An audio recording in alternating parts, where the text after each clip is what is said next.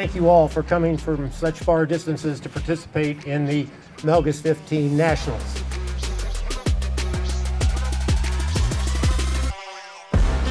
Each race, you know, there was always a new person who was up at the front of the fleet trying to win the race. So, I mean, I, I think that speaks volumes to how, to how competitive this fleet is.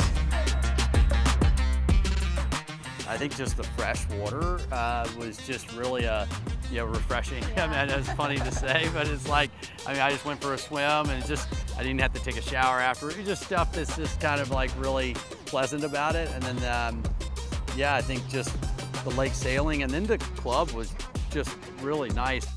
Really love sailing with my dad.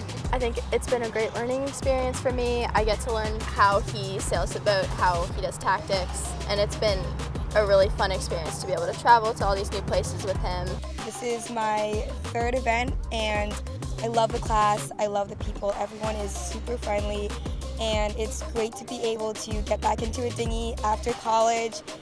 The fleet was great, the conditions were awesome, a little light, but it was a great time.